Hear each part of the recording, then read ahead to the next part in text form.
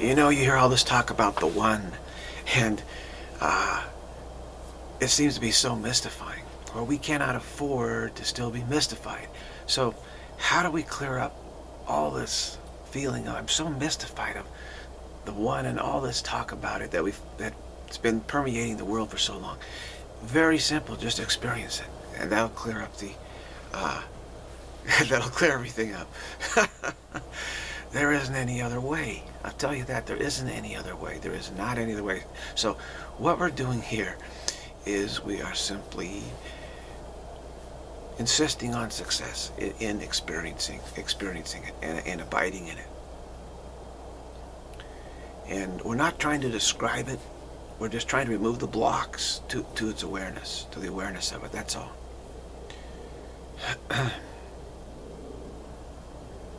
and we have to own it. Ownage is the most important thing. We, entitlement, okay? We are entitled to that. We're in a crisis in the world.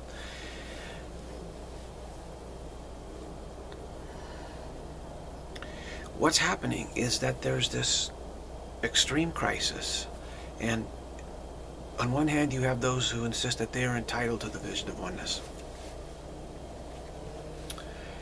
On the other hand, you have those who insist there's no such thing as a vision of oneness. And so that the entitlement that we're feeling is really misplaced and, and we're supposed to place it on we're entitled to this hedonistic uh, sensuality world. That's what we're entitled to. We're entitled to the ego's plan of salvation. That's the great gift. that, that is the problem here. And so, of course, it is a very serious issue that is uh, being uh, the, the conflict is, is, is here in this world and uh, it is being considered by everyone. So uh, of, of course those who don't know that there is such a thing as a vision of oneness they almost like de facto go along with uh, that Yes, oh, yes, I feel very entitled. I'm learning the sense of entitlement. I'm entitled to have uh, power in this world. I'm entitled to things. I'm entitled to the good life. I'm entitled to attract all these things and what I want. I'm entitled, entitled. Everything but the vision of oneness, right? They, they, that is left out. That is left out because it's God. It's it's a reminder of God. Actually, it's the intermediate step. It's the reminder of God, which is the reminder of spirit, which is the reminder of the totality, which is the reminder that we cannot uncreate creation. We cannot create a, a precursor to God. We cannot create a, a past for God. What is compounded can be uncompounded. What is built up of parts can be dissembled into parts. But the to one totality is, is doesn't have parts to it. So it, it is an entitlement crisis. There's no question about it. And uh, it seems almost impossible that that those who are pushing this uh, entitlement of, of, of, the flesh, uh, of, of, of, a vision of, of, of fleshy identity, uh, sensory identity, um, thing identity, duality identity that they could prevail. Uh, but they are prevailing, is it? That is the amazing thing. Because it, what happened is, is so many uh, incarnations took place in this world of those who were loyal to this idea. So you have a lot, a lot, a lot of young people who are, are just um, mainline, uh, mainlining this, this, this notion a lot. Not all, of course, but you have so many, many, this attitude uh, of we can make a better world, that we need to uh, focus on our entitlement to change, change, hope and change, our entitlement to change the world. You know, we're entitled to change the world. I say, no, we're entitled to abide in the vision of oneness everything just as it is. That's what we're entitled to. So you see there's this conflict. There's this value conflict in the world. It is a huge, huge, huge struggle.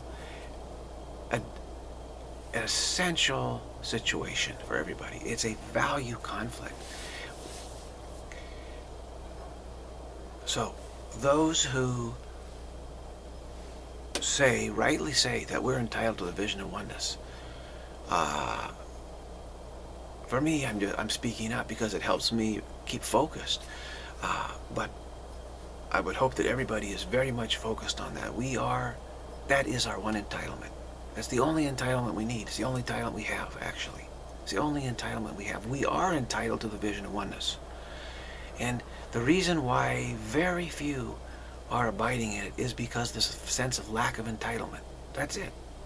If we could actually feel that we're entitled to it and know it, then it'll be a piece of cake. It'll be easy for us.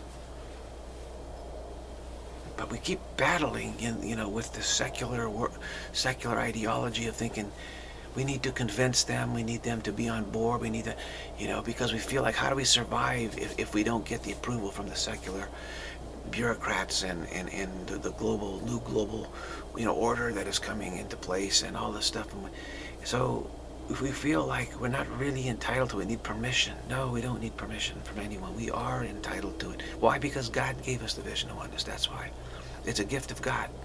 How could we not be entitled to receive the gift of God? How could the sonship not be entitled to receive the gift that God has given it? You know, spirit. How could it not be entitled? It is totally entitled.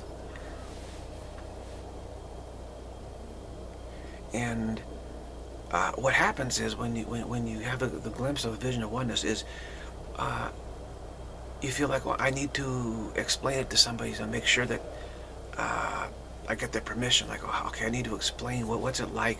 Because I'm gonna have to explain to somebody. Say I had this vision. It was like this. And and is that okay? Is that okay? And like there's some authority somewhere that we have to clear it with. That that we're not entitled to it. We have to get permission from from someone else, you know?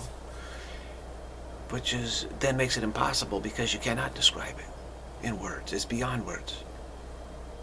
A lot of, a lot of, there are people writings that have given some descriptions, but it all comes up short.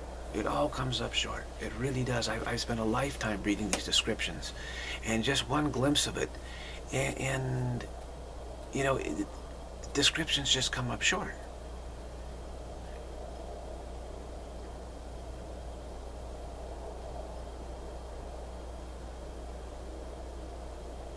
It's kind of like you know description of a glass of water. How you know how how it tastes to drink the water descriptions. And then when you actually drink the water you know you realize the descriptions just they just didn't have it didn't have it in them.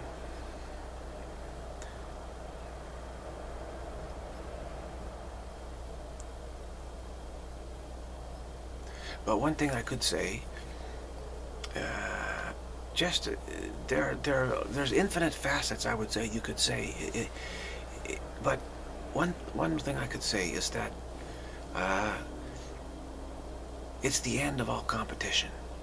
It's the end of all competition. Because everyone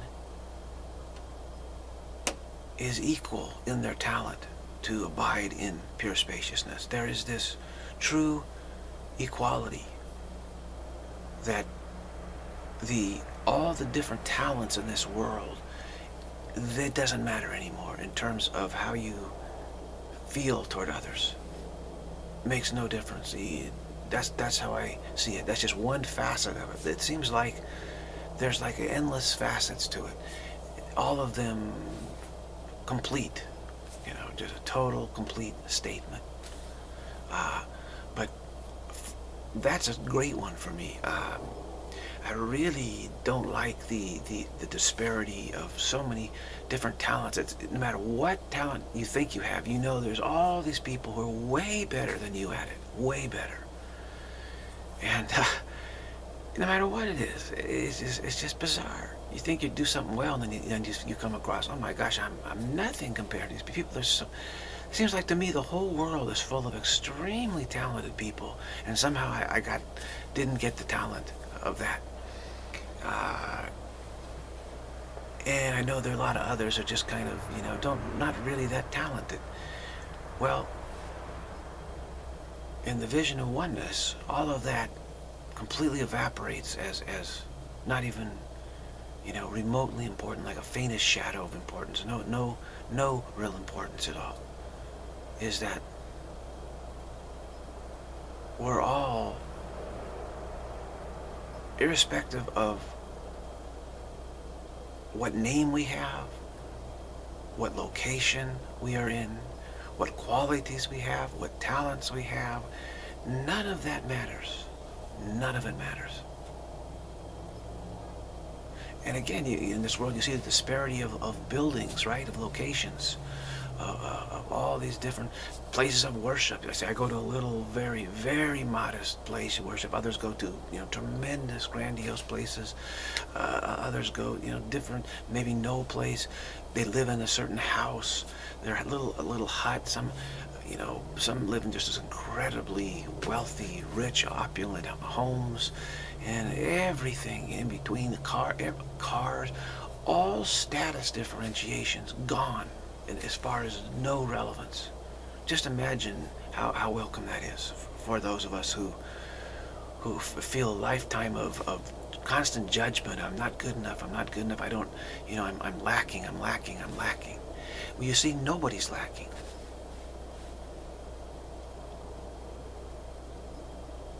There's nothing that's lacking at all. An essential being.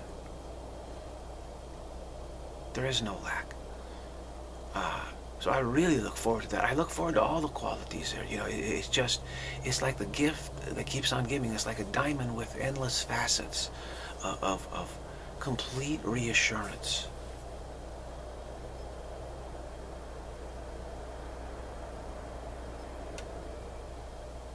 And the thing about our discursive mind is we, we, we can't think that way. We, we keep going linear. Okay, so I see that facet. Okay, now then how now how do you get to this next fa you know, it it's we we we it just makes a shadow out of it, you know. Trying to think about what it's like makes it like a, a shadow, just a, almost a nothing shadow, really because we're talking about a, a seamless totality. Nothing other than that. There isn't some second seamless totality that we can then judge and say, okay, now which one do I have? Do I have the better one or the lesser one or something? There's no need for that. You're no longer being judged. There's no judgment like that. It's total inclusion. Total. There is no inside. There is no outside. It is total inclusion.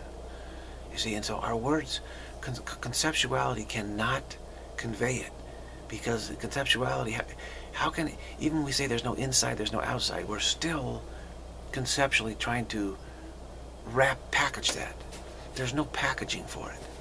There's no packaging for the vision of oneness. There's no packaging. It's an absence of packaging. Total absence of packaging.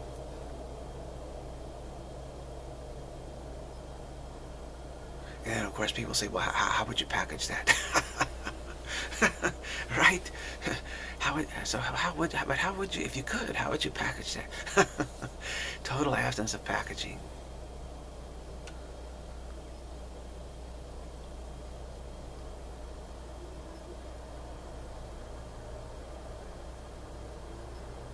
and then you get caught up in like well thinking well how would i package it and then you know we're lost in that it, it, it is crazy uh, how we get delayed and lost in it. It's just not right.